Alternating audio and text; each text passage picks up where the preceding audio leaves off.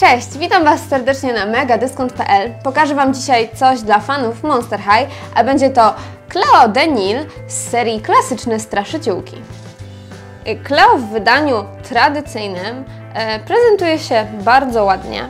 E, jej włosy są długie i czarne, pra, prawie tak ścięte jak u Kleopatry, bo mamy tutaj bardzo prostą grzywkę. E, Mamy również złote i brązowe pasemka, bo oczywiście wiemy dobrze, że Cleo bardzo lubi złoto. E, A propos tego, mamy tutaj złotą opaskę oraz złote długie kolczyki, no i złote bransoletki. Oczywiście Cleo ma makijaż w stylu Kleopatry, czyli mamy tutaj długie czarne kreski. Ma tutaj klejnocik na policzku, co jest jej znakiem rozpoznawczym, no i oczywiście ciemnoczerwone usta. Cały strój Cleo opiera się oczywiście na bandażach, zaczynając od takiego golfa, który mamy na szyi. Możemy go oczywiście zdjąć.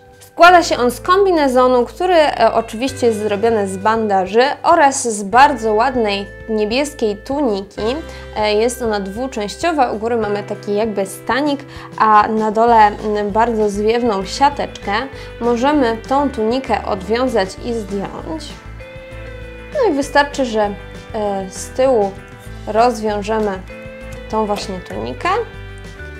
Jest ona również na rzep, więc możemy bez problemu ją zdjąć.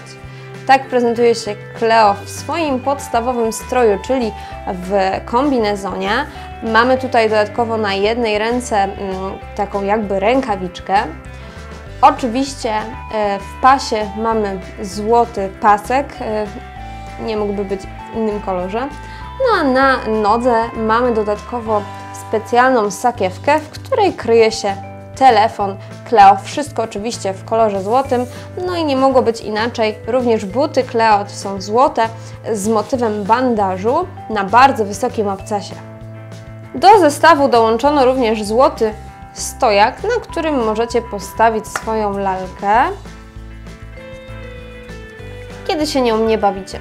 Kiedy się nią natomiast bawicie, możecie oczywiście poruszać wszystkimi kończynami, um, także na pewno Wam to ułatwi zabawę lalkami z serii Monster High. Możecie podnosić nogi, zginać je w kolanach, w biodrach, także i oczywiście y, głowa również się rusza, także zabawka jest naprawdę funkcjonalna. Cleo jak zwykle prezentuje się bardzo złociście i pięknie. Jej biżuteria jest widoczna praktycznie na każdym jej ubraniu. Mam nadzieję, że Cleo Wam się podobała. Inne lalki z serii Klasyczne Straszyciółki również znajdują się na naszym kanale, także zachęcam Was do oglądania innych odcinków.